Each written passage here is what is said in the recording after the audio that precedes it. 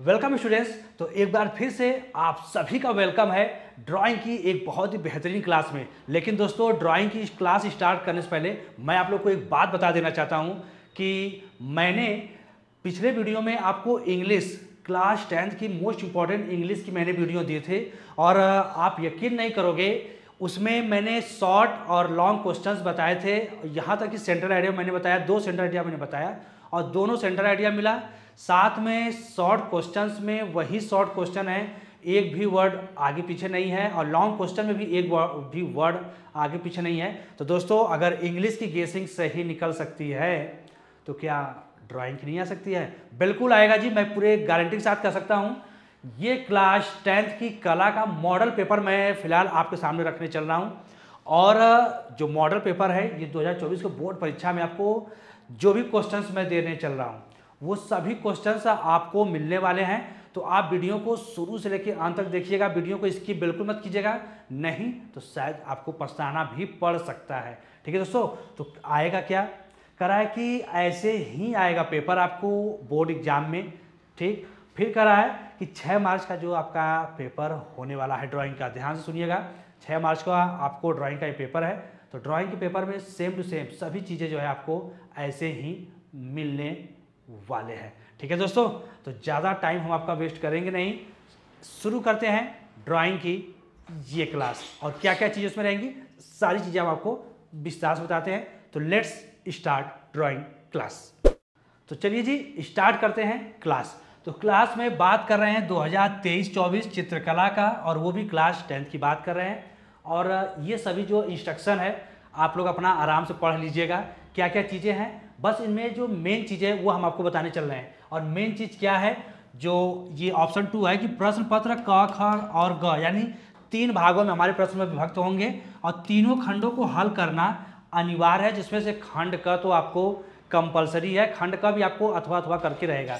तो चलिए, खंड क में क्या क्या चीज़ें हैं, हम आपको बताने चल रहे हैं। यानी खंड क कर है कि इस खंड में आलेखन कला अथवा प्राविधिक कला के प्रत्येक के बीच बहु विकल्पी प्रश्न है। यानी आलेखन कला और प्राविधिक कला के 20 20 मार्क क्वेश्चन आपको दिए गए हैं और जिनमें से किसी एक के बहु बीस बहुत विकल्पी प्रश्नों को आपके उत्तर देने हैं। या तो आप आलेखन से कीजिए या प्राविधिक कला से कीजिए। अब आप कहोगे, सर, आलेखन और प्राविधिक कला क्या है? चलिए जी, ये भी हम आपका कन्फर्म कर देते हैं। करा है कि आपके द्वारा आलेखन कला अथवा प्राविधिक कला में से जिस भाग का चयन किया गया हो, उसे ओ एम आर सीट पर अवश्य अंकित करें।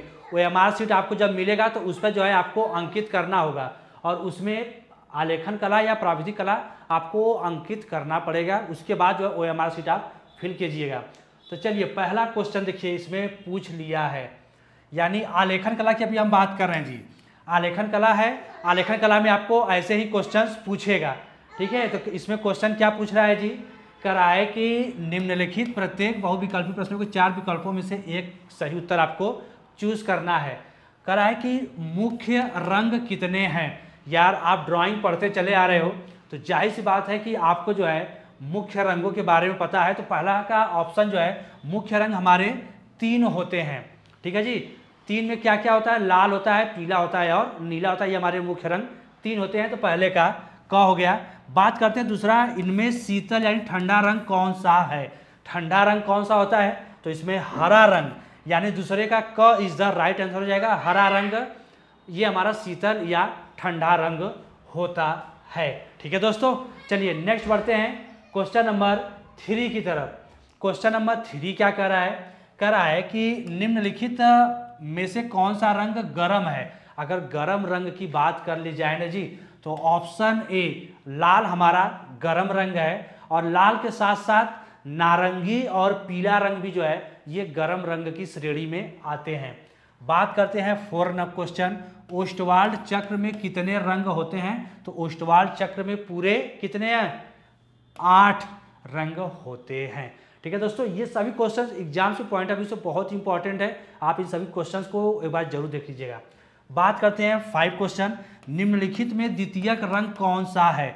द्वितीयक रंग पूछा है तो द्वितीयक रंग हमारा नारंगी है। ठीक है जी? द्वितीयक रंग क्या है हमारा? नारंगी है। चलिए बढ़ते हैं क्वेश्चन नंबर सिक्स की तरफ़। सिक्स कराए तटस्थ रंग कौन से हैं? तटस्थ रंग की बात की जा रही है। तो तटस्थ रंग हमारा कौन क्या है? सफ़ेद और काला। यानी ऑप्शन क, सफ़ेद और काला जो है हमारा ये तटस्थ रंग है। चलिए बात करते हैं क्वेश्चन नंबर सेवन का। क्वेश्चन नंबर सेवन, ठीक है दोस्तों? तो क्वेश्चन नंबर सेवन हमारा कर रहा है प्राथमिक अथवा मुख्य रंग कौन कौन से हैं? प्राथमिक या मुख्य रंग? तो प्राथमिक या मुख्य रंग हमारा लाल होता है, नीला होता है और पीला। ये हमारा प्राथमिक चाहे कर लीजिए या मुख्य रंग कर लीजिए। यानी सातवें का ख इज़ द राइट आंसर हो जाएगा। क्वेश्चन नंबर आठवां कराए कौन से रंगों का माध्यम पारदर्शी होता है? जो रंग होते हैं ना जी, वो पारदर्शी हो जाएगा। यानी आपको आर पार दिखने लगेगा। तो वो क्या होता है? ख, तैल रंग। ठीक है जी? तैल जो ऑयली रंग होते हैं, वो हमारा पारदर्शी रंग हो जाता है। ठीक है? चलिए बात करते हैं क्वेश्चन नंबर नाइन सफ़ेद का विरोधी रंग कौन सा है? तो सफ़ेद का विरोधी रंग काला है जी। ये सभी को पता है। सफ़ेद का विरोधी रंग कौन सा है? काला है हमारा। ठीक है जी? किसी कोई प्रॉब्लम है तो पूछ लीजिए। अगर आपको कोई डाउट है तो पूछते चलिएगा। बात करते हैं क्वेश्चन नंबर टेन लाल रंग में नीला रंग मिलाने पर कौन सा रंग बनेगा? अगर हमारे पास रेड कलर है, अगर उसमें हम ब्लू कलर को मिक्स कर देते हैं तो कौन सा रंग बनेगा? बैगनी रंग बनेगा। यानी टेन का भी क इज़ द राइट आंसर हो जाएगा जी। बढ़ते हैं नेक्स्ट ठीक है जी? बढ़ते हैं नेक्स्ट क्वेश्चन की तरफ़। और नेक्स्ट क्वेश्चन हमारा क्या कह रहा है? थोड़ा सा ध्यान दीजिएगा जी। क्वेश्चन नंबर इलेवन इलेवन कह रहा है पीले रंग में लाल रंग मिलाने पर कौन सा रंग बनेगा? अगर हमारे पास पीला रंग है और उसमें अगर हम लाल रंग मिला देते हैं तो कौन सा रंग बनेगा? नारंगी रंग बनेगा। कौन सा रंग बनेगा? नारंगी रंग बनेगा। चलिए बात करते हैं क्वेश्चन नंबर ट्वेल्व। द्वितीयक रंग कितने होते हैं? द्वितीयक रंग कितने होते हैं? जी भाई, मुझे फटाफट कमेंट करके आप लोग बताइए तो। द्वितीयक रंग कितने होते हैं? नहीं आ रहा है, कोई बात नहीं भाई, तीन होते हैं। ऑप्शन घ इज़ द राइट आंसर यानी द्वितीयक रंग की संख्या तीन होती है। चलिए नेक्स्ट क्वेश्चन हमारा क्वेश्चन नंबर थर्टीन ठीक है जी? क्वेश्चन नंबर थर्टीन का रहा है, पीले रंग का विरोधी रंग कौन सा है? पीले रंग का विरोधी रंग कौन सा है? अगर पीला रंग है तो पीले रंग का विरोधी रंग क्या होना चाहिए जी? एक बार आप लोग मुझे बता दीजिए, पीले रंग का विरोधी रंग क्या होना चाहिए? क्या होगा जी? नीला। पीले पर अगर नीला दिखा देंगे ना, जैसे साढ़ होता है ना बर्द बैल, उसको अगर लाल रंग दिखाइए तो भाई देखते हैं, बहुत तेज लगता है भागने। इसी तरह पीले रंग का विरोधी रंग नीला है। और क्वेश्चन नंबर फोर्टीन यार, इंद्रधनुष में कितने रंग होते हैं? यार, अगर ये नहीं बता पाओगे ना तो ड्राइंग पढ़ना बेकार है। और इसका आप लोग मुझे कमेंट करके बता देना। इंद्रधनुष में कुल कितने रंग होते हैं? सात होते हैं, आठ होते हैं, नौ होते हैं या दस होते हैं? तो इसका आंसर आप लोग मुझे कब बताएँगे? कमेंट करके बताएँगे। ठीक है जी? कमेंट में बताइए, देखते हैं किसका क्या क्या कमेंट आता है। इंद्रधनुष इंद्रधनुष में कुल कितने रंग होते हैं? चलिए फिफ्टीन क्वेश्चन करा है। कला शब्द किस भाषा का है? कला शब्द किस भाषा का है? तो ऑप्शन ए संस्कृत भाषा का है। ध्यान से नोट कर लीजिए, पढ़ लीजिएगा। क्योंकि एग्ज़ाम्स में आपको ये सभी क्वेश्चंस मिलने वाले हैं और आने वाले हैं। बात करते हैं question number sixteen. Question number sixteen का रहा है, कौन सी पेंसिल से बनाई गई रेखा अधिक काली होती है? कौन सी पेंसिल? आप ज़्यादातर टीचर्स आपको स्कूल में बोले होंगे, बेटा, टू बी पेंसिल यूज़ कीजिए। टू बी पेंसिल का यूज़ कीजिए क्योंकि वो ज़्यादा काला होता है और दिखने में भी काफ़ी अच्छा ब्लैकनेस उसमें ज़्यादा मात्रा में होती है। यानी सिक्सटीन का क is the right answer next question number seventeen seventeen का रहा है कि कौन सी पेंसिल से बनाई गई रेखा हल्की होती है? कौन सी पेंसिल से हल्की हो जाएगी भाई? कमेंट करके बताओ। अगर टू से बनाने से ज़्यादा गहरा रंग होता है तो कौन सा पेंसिल यूज़ करने पर हल्का हो जाएगा? मुझे फटाफट कमेंट करके आप लोग बता दीजिए कौन से रंग से हल्का होगा। बिल्कुल two H two H is the right answer बढ़ते हैं क्वेश्चन नंबर 18 की तरफ़। क्वेश्चन नंबर 18 हमारा कर रहा है, फूल और कली के बाहरी रेखाओं को बनाने के लिए किस नंबर के ब्रश का प्रयोग करना चाहिए? यानी कोई फूल हो या कली हो, उसके जो बाहरी भाग जो बनाया जाता है, ठीक है ना? जैसे अगर ये हमारी कोई कली हो गई, ठीक है? Suppose that this is our rose flower है ना जी? अब इसके जो है, कली को हमें पेंट करना है तो किस रंग के ब्रश को लेना चाहिए? तो किस रंग के ब्रश के? टू नंबर के ब्रश को लेना चाहिए। ठीक है जी? कौन से ब्रश को? टू नंबर के ब्रश को लेना चाहिए। चलिए बढ़ते हैं क्वेश्चन नंबर नाइनटीन की तरफ़। नाइनटीन का रहा है, बनावट की दृष्टि से आलेखन कितने प्रकार के होते हैं?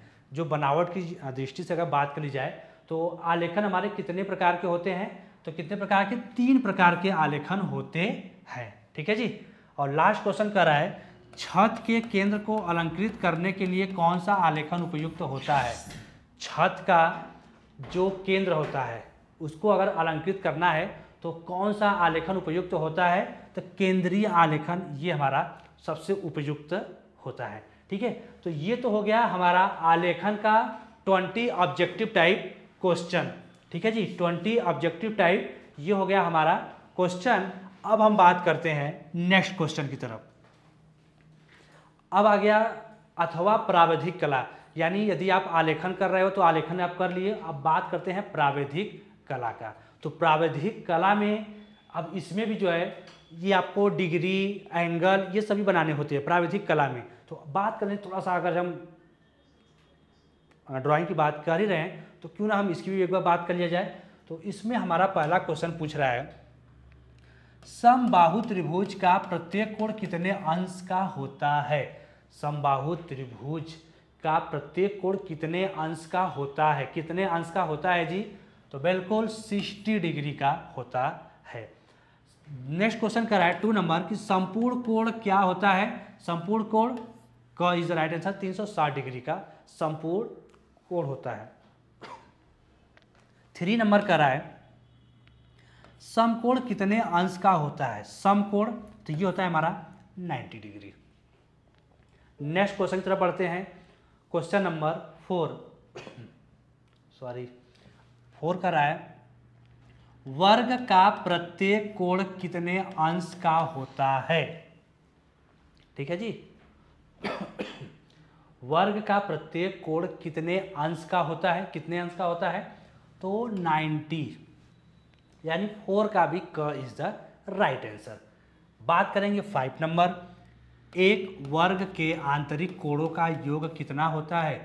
360 कोई प्रॉब्लम कोई दिक्कत तो आप मुझसे फटाफट पूछ लीजिएगा दोस्तों। क्वेश्चन नंबर सिक्स की बात करते हैं। कौन सी पेंसिल से बनाई गई रेखा अधिक काली होती है? जी, अभी हम लोग बात कर लिए हैं कौन सी? टू बी से। सेवन कर रहा है वर्ग की चारों भुजाओं की नाप क्या होती है? वर्ग की चारों भुजाओं का माप क्या होता है? बराबर होता है। चारों भुजाएँ क्या होती हैं? बराबर होती हैं। एट कर रहा है मापनी में, ठीक है जी? एट हमारा कह रहा है कि मापनी में मापनी में पहले बड़े मुख्य भाग लिखा जाता है। मापनी में पहले बड़े मुख्य भाग लिखा जाता है क्या? Zero degree. ज़ीरो लिखा जाता है जी। और नाइन का रहा है, एक मीटर में कितने सेंटीमीटर होते हैं? तो सौ सेंटीमीटर होते हैं एक मीटर में। ठीक है? चलिए बढ़ते हैं नेक्स्ट। Question number ten. करा है, वृत्त का आकार कैसा होता है? वृत्त का आकार शून्य होता है, ज़ीरो होता है। ग्यारह कर रहा है, इनमें से कौन सा आकार आयताकार है? कौन सा आकार आयताकार है? ये वाला है जी, जो आपको ऐसे बना हुआ है। ये हमारा आयताकार है। ट्वेल्व का रहा है, इनमें से कौन सा आकार त्रिभुजाकार है? त्रिभुजाकार। तो क इज़ द राइट आंसर होगा हमारा, यानी क हमारा सही होगा। ठीक है जी? चलिए नेक्स्ट क्वेश्चन देखते हैं। नेक्स्ट क्या करा है हमारा? थर्टी नंबर थर्टीन करा है, रेखा किसे कहते हैं? रेखा किसे कहते हैं? तो दो बिंदुओं के बीच की दूरी को हम कहते हैं रेखा, यानी तेरह का क इज़ द राइट आंसर हो जाएगा। बात करेंगे क्वेश्चन नंबर फोर्टीन फोर्टीन का है, निम्नलिखित में से कौन एक अधिक कोण है? कौन अधिक कोण है? तो 90 डिग्री से बड़ा लेकिन 160 डिग्री से कम, यानी 14 का क इज़ द राइट आंसर हो जाएगा। बात करते हैं क्वेश्चन नंबर 15 का। 15 हमारा क्या कह रहा है? समबाहु त्रिभुज किसे कहते हैं? समबाहु त्रिभुज। तो किसे कहते हैं? क। इसके तीनों भुजाओं के अंतकोण बराबर होते हैं, ये हमारा समबाहु त्रिभुज कहलाता है। बात करते हैं सिक्सटी नंबर के सिक्सटीन क्वेश्चन नंबर 180 डिग्री के कोण को क्या कहते हैं? तो क्या कहते हैं? सरल कोण कहेंगे या रिजू कोण कहते हैं? यानी 16 का क इज़ द राइट आंसर आप कहोगे, सर, सारे का क ही आंसर क्यों आ रहा था? भाई कहीं पर ऑप्शन को रख दिया गया है। लेकिन आपके एग्ज़ाम में ज़रूरी नहीं है कि सब कही होगा। आप ध्यान से थोड़ा सा पढ़ के समझ के ही कीजिएगा। बात करेंगे सेवनटीन नंबर। वर्ग किसे कहते हैं? तो क, जिसकी चारों भुजाएँ बराबर होती हैं, उसको हम वर्ग कहते हैं। एट्टीन का रहा है, एक डेसीमीटर में कितने सेंटीमीटर होते हैं? एक डेसीमीटर में कितने सेंटीमीटर होते हैं? तो दस सेंटीमीटर एक डेसीमीटर में होते हैं। बात करेंगे क्वेश्चन नंबर नाइनटीन। नाइनटीन का रहा है, एक मीटर में कितने डेसीमीटर होते हैं? एक मीटर में कितने डेसीमीटर? तो दस डेसीमीटर एक मीटर के बराबर होता है। और लास्ट क्वेश्चन ट्वेंटी नंबर का है, कौन सी पेंसिल से बनाई गई रेखा हल्की होती है? देख लो यार, कौन सी पेंसिल से बनाई गई रेखा हल्की होती है? तो इसका आंसर आप लोग मुझे कमेंट करके बताइएगा, क्योंकि अभी मैंने आपको बताया है किससे लाइन एकदम गाढ़ा बनेगा, किससे हल्का बनेगा। तो इसका आप लोग मुझे आंसर कमेंट करके बताइएगा। ठीक है जी? मुझे आपके कमेंट का इंतज़ार है। चलिए, बढ़ते हैं नेक्स्ट आगे जो है इसमें, क्या मिलेगा? अब देखिए, खंड का तो हमारा अनिवार्य था, उसको हमने कर लिया। बात करेंगे खंड ख। खंड ख क्या कर है? खंड ख के प्राकृतिक दृश्य चित्रण अथवा आलेखन कला अथवा प्राविधिक कला में से केवल एक का ही चित्रण करना है। यानी प्राकृतिक दृश्य रहेगा, ठीक है? आलेखन कला रहेगा या प्राविधिक कला, तीनों में से कोई भी एक आपको करना है। तो जिसमें प्रा, प्राकृतिक दृश्य में आपको क्या कर है? दिए गए ड्राइंग शीट पर 22 गुड़े अठारह सेंटीमीटर के आयत में ग्रामीण सूर्योदय का दृश्य चित्रण कीजिए। यानी पेंसिल अगर आपके पास है तो इसको नोट कीजिएगा। यही आपका माप। 22 गुड़े अट्ठारह सेंटीमीटर ये चीज़ होना चाहिए। यानी 22 सेंटीमीटर आपके कॉपी में ऐसे होना चाहिए। ये कम से कम 22 होना चाहिए। और ये चीज़ जो है आपका 18 होना चाहिए। कॉपी आपका लंबा रहेगा तो इस चीज़ को ऐसे बनाइएगा और इसी नाप में, नाप अगर आप सही करते हो, देख लीजिए, सही संरचना एवं परिक्षेप करने पर आपको दस केवल आप अगर इस सही से लाइन को खींच देते हैं तो दस नंबर आपके होंगे। उसके बाद संयोजन संयोजन मीन्स जैसे आप जो जो चीज़ें उसमें कह रहा है, संयोजन में क्या कर रहा है, ग्रामीण सूर्योदय का दृश्य करना है, खेत की ओर जाते हुए किसान का चित्र तथा आकाश में कुछ पक्षी, गाँव की झोपड़ियाँ तथा कुएँ के पास घास चरती है गाय का चित्र बनाना है। इतनी चीज़ें आपको उसमें दिखाना है। जो जो चीज़ें इसमें बता दिया है वो वो चीज़ें आपको उसमें दिखाना है। ठीक है जी? और चित्रांकन में वाटर कलर या पेस्टल कलर का प्रयोग करना है। वाटर कलर आपको यूज़ करना है। यानी अगर इतना बनाते हो तो वो पाँच नंबर मिलेगा, दस नंबर आपको इस पर मिल गया। सुसंगत रंगों का चयन एवं प्रयोग, यानी ग्रामीण दृश्य आप बना दिए। कौन सा कलर कैसा आपको यूज़ करना अगर उस तरह से आप बना देते हो तो वो आपको टेन नंबर देगा और आकर्षण एवं सामान्य प्रभाव का देखने में अगर आकर्षण लग गया तो वो पाँच नंबर आपको देकर जाएगा। तो हम आपको वीडियो भी बनाकर दिखा देंगे जी, कैसे ड्राइंग आपको बनाना है, वो भी हम आपको बनाकर दिखा देंगे। ठीक है? ये तो हो गया हमारा चित्रण का। अब आलेखन में भी आपको जो है, इसमें दे दिया है। क्या क्या कि दिए गए 16 गुड़े बारह सेंटीमीटर के आयत में खिड़की के पर्दे के लिए एक इकाई वाला लयबद्ध आलेखन चित्रित की जिसमें किसी भारतीय पुष्प कलियों यानी जो आप लोग आलेखन बनाते हो, आलेखन में जैसे आप गोला बनाते हो ना जी, ऐसे गोले में करके बनाते हो, या सोलह गुड़े बारह सेंटीमीटर के आयात में, ठीक है जी, आप ऐसे भी बनाते हो, जिसमें आप तरह से दो भागों में डिवाइड करने के बाद आप इसमें फूल पत्ती जो है अपना ऐसे बनाते हो, दोनों साइड से।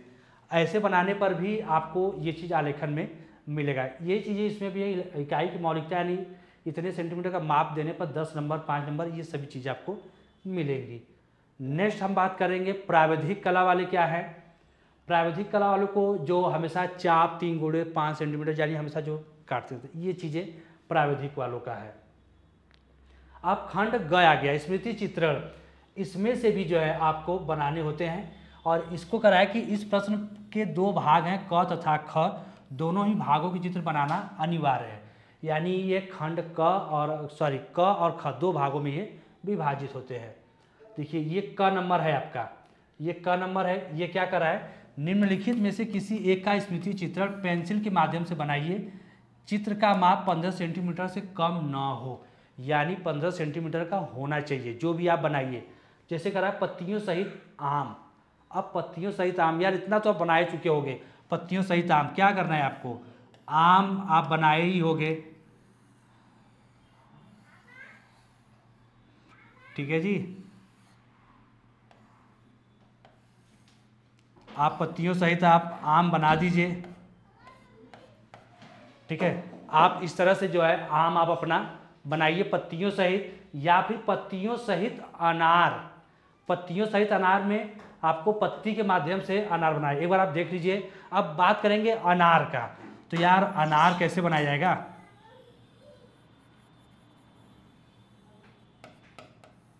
ठीक है जी।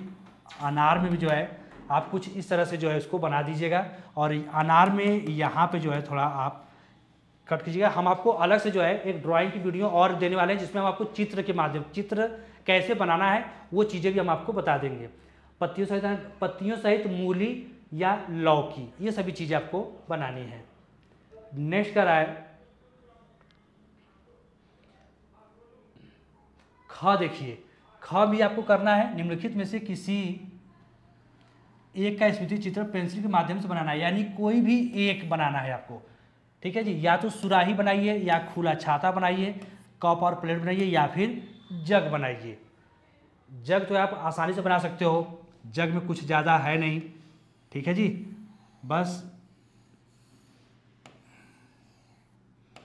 जग जो है आपको बनाना है, ये सभी चीज़ें जो है हम आपको और भी विस्तार से और भी अच्छे से हम आपको बनाकर दिखा देंगे। बस आपको समझाने के लिए कि कैसे चीज़ें, चीज़ों को जो है बनाना है। बात करेंगे नेक्स्ट। ये भारतीय चित्रकला है। ठीक है जी? और इसे जो है आपको जाकर उतने को आप बना लेते हो तो इसमें जो है आपको बनाने की, क्योंकि ये प्राविधिक वालों का है, इसे जो है ये लोग ऐसे बनाएँगे। ठीक है? तो ये तो रही हमारी आज की क्लास ड्राइंग की, और ड्राइंग में फिगर कैसे आपको बनाने हैं, चित्र क्या क्या चीज़ें बनानी है, वो सारी चीज़ें हम आपको कल की वीडियो में प्रोवाइड करा देंगे। और क्या क्या चीज़ें इसमें आप बना सकते हो। ड्राइंग में हम आपको वही चीज़ें बना, बताएँगे, जो आपके एग्ज़ाम्स में आने वाले हैं, क्योंकि हर बार मैंने जो भी चीज़ें बताया है, वो एग्ज़ाम में आए हैं तो इस बार भी जो है आपको एग्ज़ाम में देखने को ज़रूर मिलेगा। ठीक है दोस्तों? तो जाने से पहले आप सभी से एक छोटा सा रिक्वेस्ट है कि अगर आप वीडियो देख देख लिए और शायद लाइक करना भूल गए हो तो फटाफट वीडियो को लाइक कीजिए शेयर ज़रूर कीजिए और पहली बार विज़िट किए हैं तो चैनल को सब्सक्राइब करके ही जाइए। और अगर आपके घर में छोटे भाई बहन कोई भी हो तो आप उन्हें ज़रूर बताइए कि हम लोग की जो है क्लासेस न्यू बैच स्टार्ट हो रही हैं अप्रैल से। और मार्च में भी जो हम लोग क्लासेज स्टार्ट रहेंगे। ठीक है दोस्तों?